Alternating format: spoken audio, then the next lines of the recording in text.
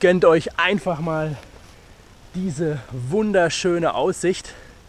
Ja, hinter mir seht ihr die Vogesen.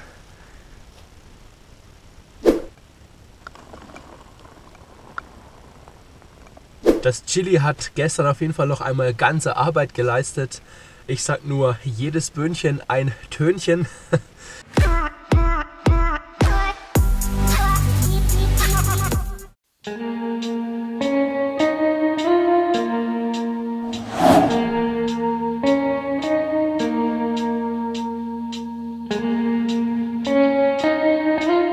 Ja, hallo und herzlich willkommen zu einem neuen Video. Heute gibt es mal einen Overnighter und zwar im neuen Auto.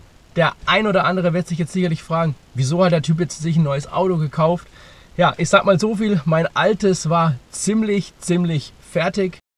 Ein Kollege von mir, der ist äh, Kfz-Mechaniker und der hat sich das Auto mal genauer angeschaut. Der kommt definitiv nicht mehr über den TÜV drüber. Ja, auch unten alles verrostet.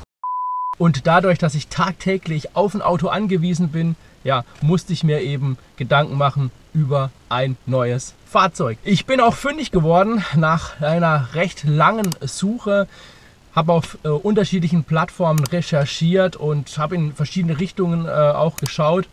Eins war klar, er sollte ähm, Vierradantrieb haben. Ich habe mich umgeschaut nach Lada Niva, nach Ford Kuga äh, und nach vielen, vielen anderen Modellen. Letzten Endes bin ich dann mehr oder weniger durch Zufall auf dieses Auto aufmerksam geworden.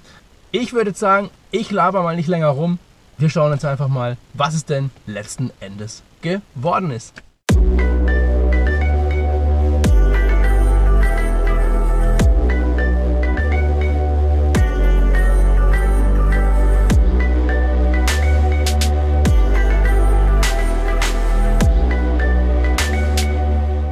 Ihr seht, ist es der kleinste SUV aus dem Hause Jeep geworden, der Jeep Renegade. Ja, es handelt sich hierbei um die Sondermodellversion Night Eagle in der Farbe Carbon Schwarz. Ja, wie ihr seht, war ich auch schon einige Male im Gelände damit unterwegs und ich kann schon mal so viel sagen, für meine Zwecke reicht es vollkommen aus.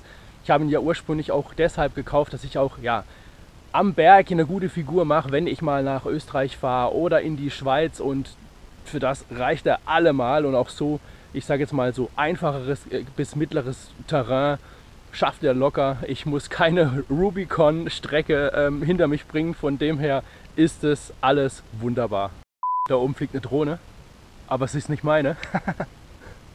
cool. Das gute Kerlchen hat 140 PS und Vierradantrieb.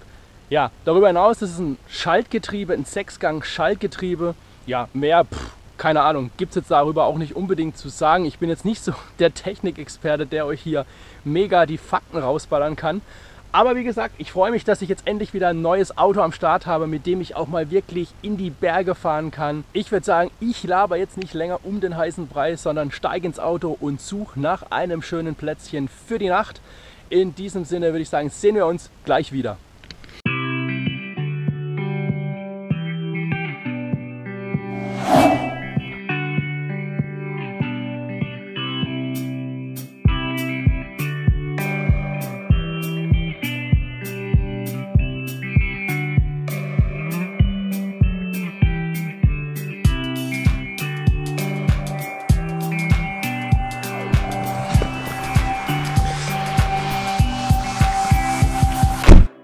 Hey Leute, ganz ehrlich, ich glaube, ich habe den Spot gefunden, nachdem ich gesucht habe und ah, gönnt euch einfach mal diese wunderschöne Aussicht.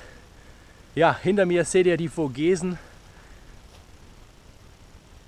Ja, traumhaft. Ich glaube, hier werde ich auf jeden Fall ähm, heute pennen. Es sieht richtig, richtig schön aus.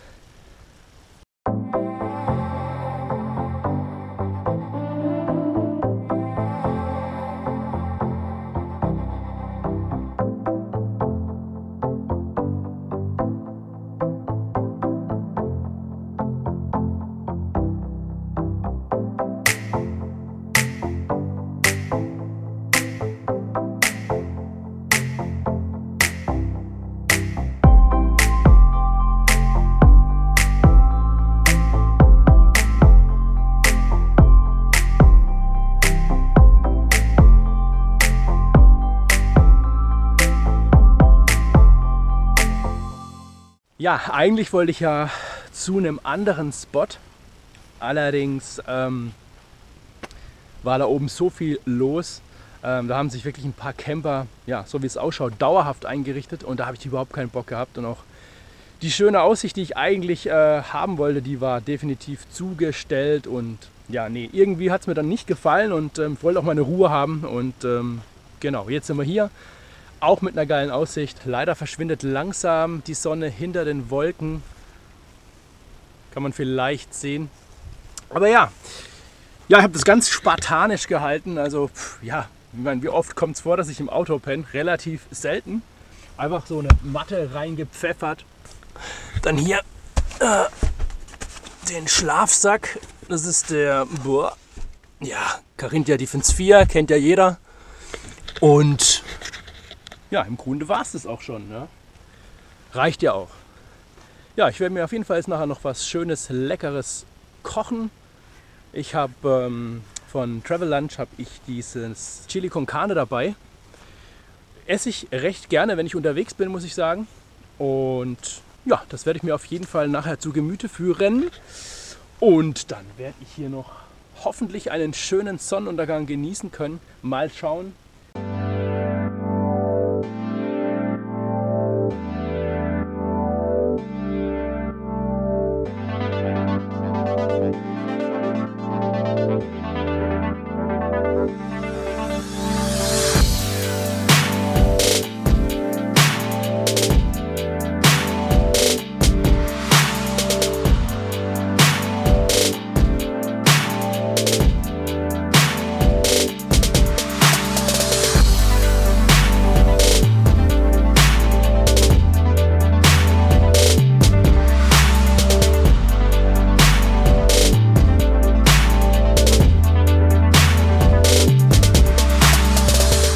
gleich kocht jetzt auch das Wasser. Oh. Ah, riecht schon ziemlich gut.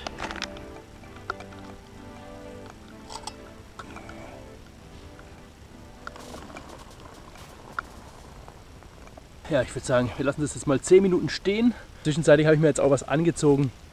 War mir dann noch etwas zu frisch. Ja, heute Nacht bin ich mal gespannt. Äh, könnte eine kühle Nacht werden, aber ja, gut, abwarten noch ein bisschen umrühren und dann kann es auch schon losgehen.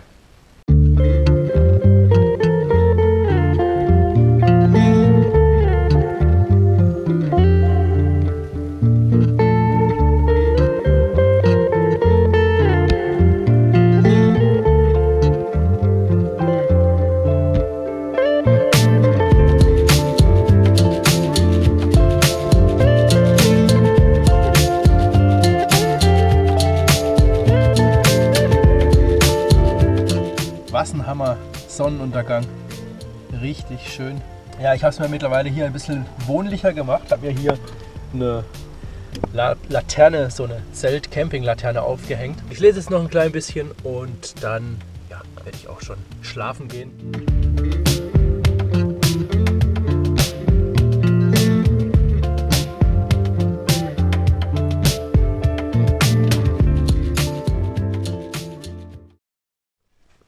Uah. Wir haben 7 Uhr und ja, wettertechnisch sieht es nicht so gut aus. Windet stark. Ja Leute, jetzt nochmal in etwas wacherem Zustand. Guten Morgen an dieser Stelle. Ja, draußen stürmt es schon ganz schön heftig. Hat schon fast schon was von einem Orkan. Ähm, ja. Nicht so schön wie gestern, aber ja, so ist es halt. Ähm, ich habe eigentlich ganz gut heute Nacht geschlafen.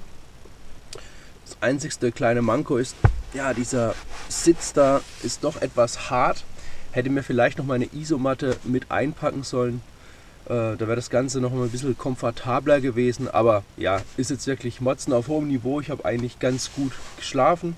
Ja, derzeit haben wir 9 Grad, also ohne Schlafsack wäre es da sicherlich etwas ungemütlicher geworden. Aber dadurch, dass ich ihn dabei hatte, hatte ich es die ganze Zeit schön mollig warm. Das Chili con Carne hat äh, in der Nacht noch einmal fleißig gearbeitet. ja, ich sag nur, jedes Böhnchen ein Tönchen. Ich habe übrigens noch einmal in Technik investiert und zwar habe ich mir die GoPro 7, äh, die Black Edition, ähm, bestellt. Ganz einfach deshalb, dass die Qualität einfach noch ein Stück weit besser wird. Gegen Ende des Jahres werde ich da auch auf jeden Fall nochmal in Ton investieren.